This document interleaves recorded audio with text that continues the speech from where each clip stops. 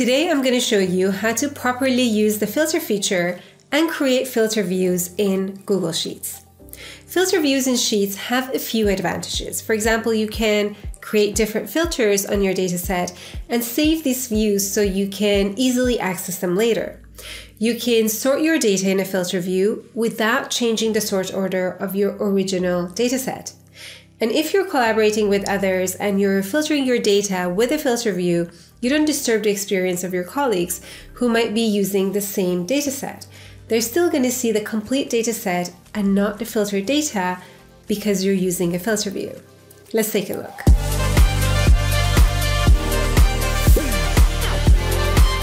With Filter, you can concentrate on a specific aspect of your dataset. So for example, let's say we have the sample data and we want to take a closer look at the employees that are in the sales department. Now, one method is to sort the dataset and then just take a look at the sales part, but that's going to change the original order of our dataset. Another option is to filter the dataset for only departments that have sales. How do we do that? It's really easy. Just click somewhere inside your dataset, go to the toolbar here, and click on the Create a Filter icon. We get filters placed right beside our headers. Now in this example, everything works perfectly, but that's not going to be always the case. I'm just going to press Ctrl Z to go back. Let's just assume that I have just some words written here, and then I go and do the same thing. I click on filter, now my filter icons are up there. That's not what I want. Here it thinks that this also belongs to the dataset because I don't have any gaps in there. So I'll just press Ctrl Z a few times to go back. Now, if you want to be safe about this and just make sure that the right dataset is included, highlight it first, include the headers, and then go and click on the filter icon. You can also get there by going to data here and you will see the filter options right here. Now it's showing me turn off filter because filter is activated. That's going to take it away. When I go back, it says create a filter. Okay, that basically is the same toggle that we have right here. Now with this activated, we can click on the icon on the side of the header and we get these options. The filter options are down here, but notice we also get sort options and we get something that we didn't have before. I'm going to cover this in a second, but first let's concentrate on the filter options. So in this example, I just want to filter for the sales department. I can see the list of my departments here. To select sales only, I'm going to clear the whole selection, click on sales to place a check mark beside it, and then click on OK. That restricts my view to everyone in the sales department. Now notice that the other rows that were in between are actually there, but they're just hidden. The good thing about using filter in this way is also that I can copy this data set. So let's say I just wanted to send this to a colleague. I can copy this, go to a new sheet, and then paste this, and that's just going to paste the filter view. Okay, so let's just press Ctrl Z to go back. Now, let's say in addition to restricting the department to sales, I also want to restrict the salary to everyone that earns more than 40,000. I can click on the icon here. This time, I can't make a selection. Instead, what I want is to filter by condition.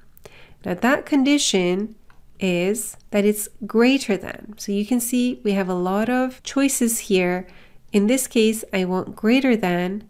Just type in 40,000, click on OK, and we have department sales for those that earn a salary above 40,000.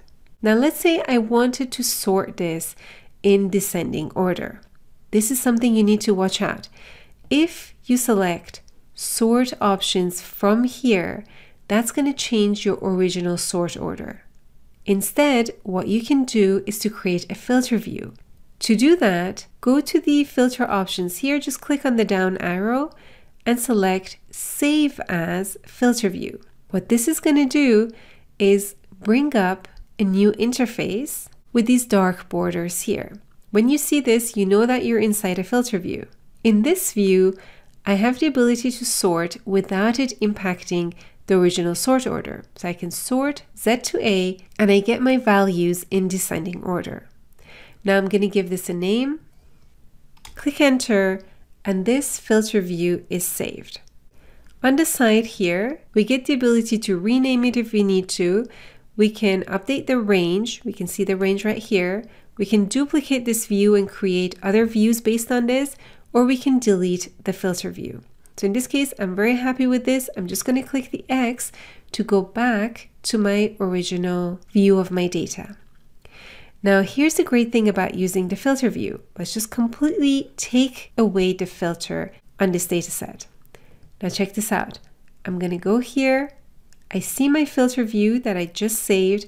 I'll click on it and it's going to show me everyone in the sales department that earns a salary over 40,000. What happens if I get new data set?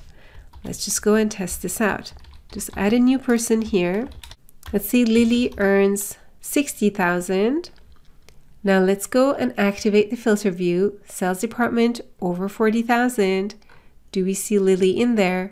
Yes, we do. Just have to update the formatting of the number so we have a cleaner view of our data set. Okay, let's just go back to our original data set right here. Okay, so let's just remove this. Now let me show you something else.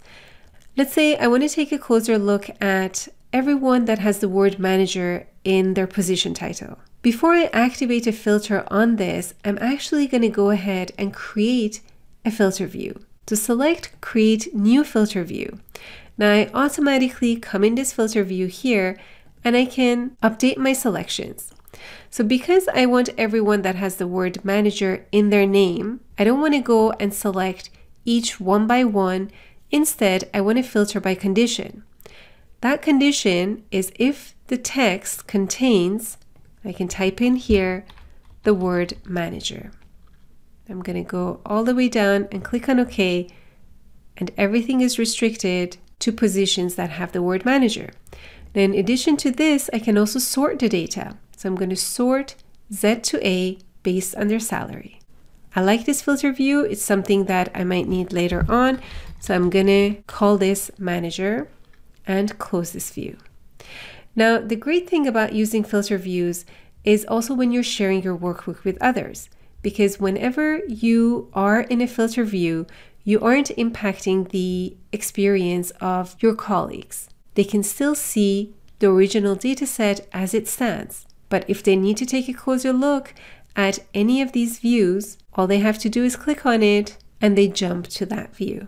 One other thing I want to show you is the ability to filter or sort by color. So I'm just going to activate filter on this data set here, click on salary and go to filter by color. Here we can see fill color is activated and I can see white and light blue. The reason I only see these two colors is because that's the only two colors that I currently have here. I can filter on this and take a closer look at this data set. Now let's just go back. If I happen to have another color in there, so let's go with orange here and let's also update the font of one of these to red. I have the ability to filter by that new color because I see it right here and I also have the ability to filter by text color.